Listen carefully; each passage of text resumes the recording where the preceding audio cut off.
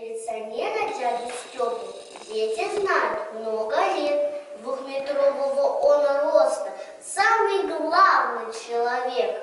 На дорожке пешеходной, кто на красный свет идет, крикнул громко дядя Степа. Нарушитель встал и ждет. В самом темном переулке хулиган напал с ножом. Телефон звонит дежурке,